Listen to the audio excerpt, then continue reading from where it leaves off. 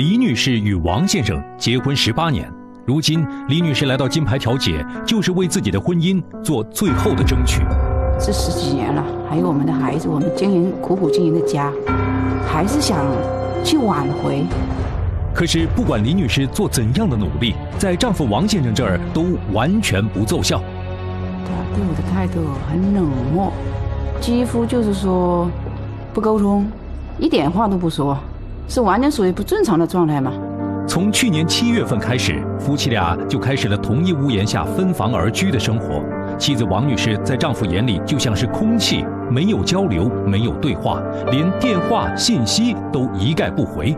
可以做到如李女士所说的，杜绝一丁点儿的沟通。对此，王先生回应，他这么做就只有一个目的，那就是让妻子同意离婚。平时反正我们现在已经不说话，而且已经分开了，我忍太多了，到到到这种这种地步，已经真的，嗯，没法挽救。在王先生的眼中，自己的这段婚姻已经病入膏肓，无药可救。那么，一心求和的妻子李女士到底做了什么让他无法忍受？而他又为何把沉默当作武器与妻子抗衡呢？调解马上开始。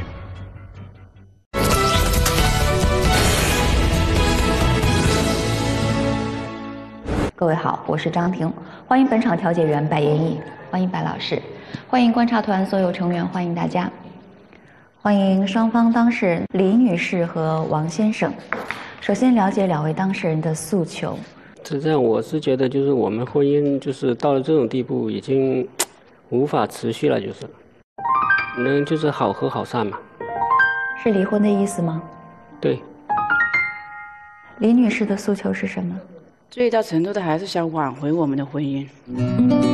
虽然之前有过很多不愉快，但是我还是很想经营我们自己的家，我们的婚姻。现在主要是他不同我沟通，很抵抗，他可能是想离婚吧。在一个屋檐底下嘛，只是分房睡了。去年七月份打完那场架之后，啊，分居到现在。在同一屋檐下，难免就会有。低头不见抬头见的时候，你们会有交流吗？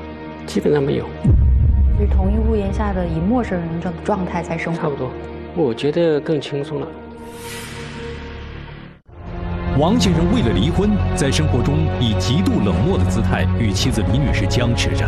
在调解现场，王先生也提到了一个重要的时间节点，那就是去年七月，就是那一场冲突，让他过上了把妻子当做最熟悉的陌生人的生活。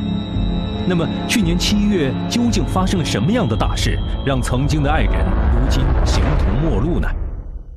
就是去年七月份，因为我是搞装修的，然后就是通常是直接问东家要要拿工钱的。那个时候，说实话，他他都还还怀了孕的，我是叫他在家里的，但是他非要跟着出来。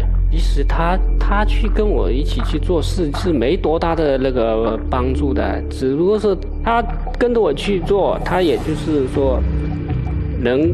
管到我的钱，这种做法已经很长久了，我也我也很很压抑了，是不是？不是他那样陈述的，我跟他从结婚到现在，就是我从七月份去找工作是单独做，以前都是跟他在起早贪黑，跟他在一起干活，哪是去收钱的呢？牵涉到结钱这个问题或者管钱这个问题是管钱是我管的，他但是后来有些那个微信转账的事也是有转在他账上啊。你知道他对这个不不满意吗？那是只要他知道我一笔转了一笔钱，那是又要打一趟的。你借的钱从来什么时候跟我说过？别人没有现金，你只要结了账，他从来不说的。所以说一下，我好勾掉。他就是不说。等我发现以后，我肯定会不不高兴啊！你接了我又去接，这算什么呀？算人家的笑话呀！他就是很抵触我，他对我更要有仇一样。我什么话也没说，我只是不高兴，可能表现在脸上了，他能感觉到了。到了晚上，他就开始闹事、发脾气，最后打架。有由头吗？比如说因为什么，还是说直接就说？就说我不高兴你，为什么不高兴呢？他不是还怀着孕吗？怀孕是啊，他要打我也没办法。有伤到他吗？伤到了，最后流了。这让我很生气，你知道吗？如果你稍微你有一点家庭观念，有一点这样的，作为女人的这个对自己有这个要求的话，你不可能会那样去做的。我认为他没有把我当孕妇，如果是孕妇，我的孩子会掉吗？你会忍让吗？你不会，你拳打脚踢，把我拖在地下使劲踹。他说的是你挑起来的战争，是吗？你在某些方面能跟我好好沟通、好好说，然后你自己大大钱就把我拖在地下踹吗？她怀孕了，我没有说要要打她怎么样，而是说她他说的有一点没错。